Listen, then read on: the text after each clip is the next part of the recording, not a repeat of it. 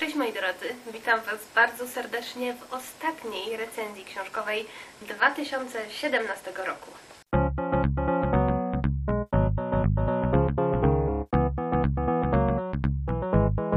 Dzisiaj porozmawiamy sobie o tytule Siostra, który ma być e, thrillerem, bestsellerowym brytyjskim thrillerem pani Louise Jensen. E, I powiem Wam szczerze, że książkę kupiłam kiedyś, chyba dawno temu, albo w świecie książki, albo w matrasie, bo była na nią jakaś promocja. Nigdy wcześniej o niej, o niej niczego nie słyszałam. E, przeczytałam po prostu tylko to, co znajdowało się z tyłu książki. I stwierdziłam, że w sumie rzadko czytam thrillery. Jedynym chyba, który przeczytałam w tym roku, to, był właśnie, to była właśnie dziewczyna z pociągu, który jakiś dobry, wybitnie nie był, więc stwierdziłam, że muszę swoją biblioteczkę właśnie poszerzać o tego typu tytuły i poszukiwać takiego idealnego thrillera, który mogłabym Wam polecać.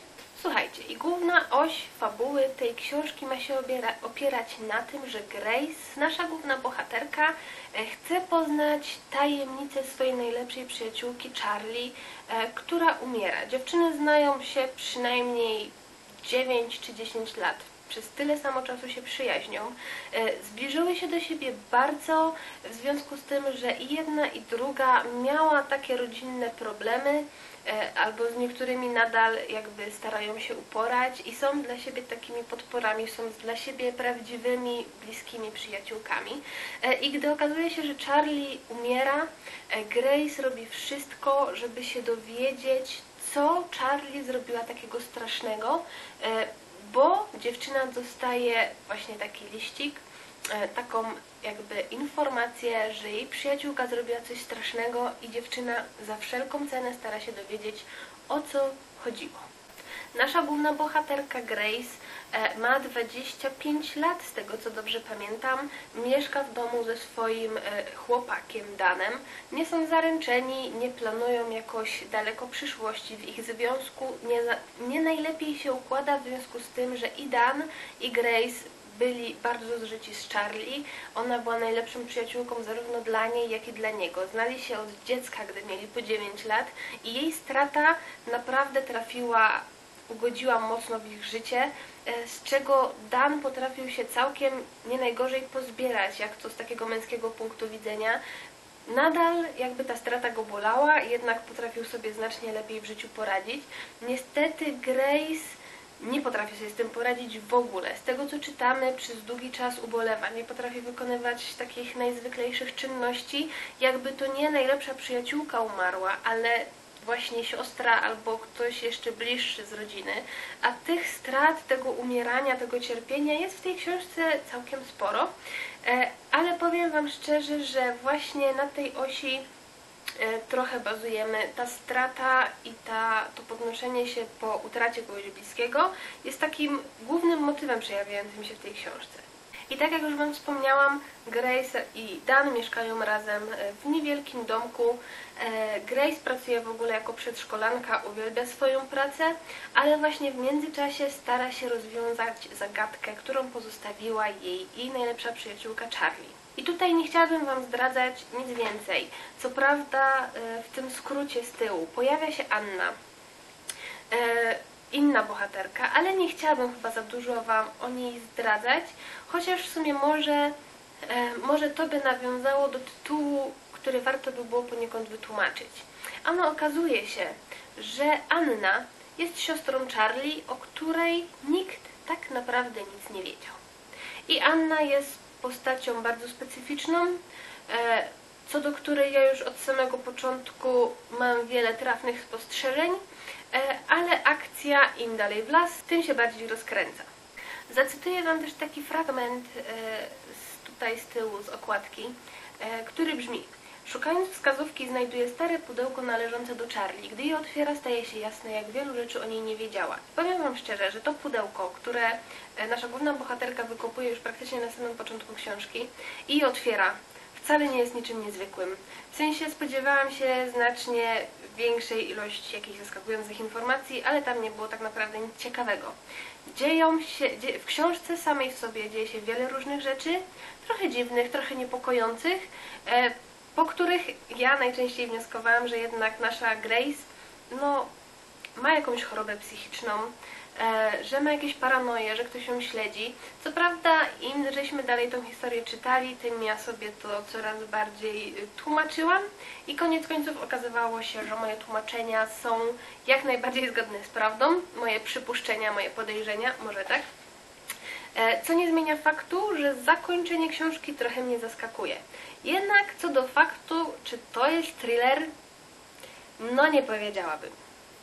Jeżeli mielibyśmy powiedzieć, że książka o tytule Siostra, którą już mam w swojej ręce, jest thrillerem, to powiedziałabym, że tam akcja główna thrilleru zaczyna się rozgrywać gdzieś koło 41 rozdziału, a tych rozdziałów mamy w sumie 47, więc trochę późno. E, Ale jak dla mnie w moim odczuciu, mimo że nie jestem żadną specjalistką od thrillerów, kryminałów czy w ogóle jakichkolwiek innych książek, ale w moim własnym odczuciu nazwanie tej książki thrillerem to zdecydowana przesada. Jednak, żeby tą książkę trochę obronić, chciałabym powiedzieć, że mimo to, że nie jest to najlepszy thriller, bo ja tego nie odbieram w ogóle jako thriller, to powiem Wam szczerze, że książka dla mnie jest bardzo wciągająca. Wystarczyły mi 4 dni na jej przeczytanie, chociaż tak naprawdę gdybym siedziała od rana do wieczora tylko i wyłącznie w domu, to to był jeden dzień, góra półtorej, bo naprawdę sposób pisania autorki jest niesamowicie wciągający.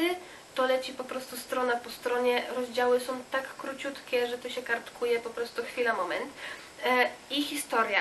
Historia Grace i historia Charlie są naprawdę wspaniałe. Tutaj najczęściej jest tak, że jeden rozdział jest opisany jako teraz, inny rozdział jako wtedy i cofamy się do dzieciństwa zarówno jednej, jak i drugiej dziewczyny. E, Bardzo dobrze je poznajemy. To jest tak naprawdę jedna z niewielu książek, w których ja naprawdę byłam w stanie bardzo dobrze poznać zarówno jedną, jak i drugą bohaterkę.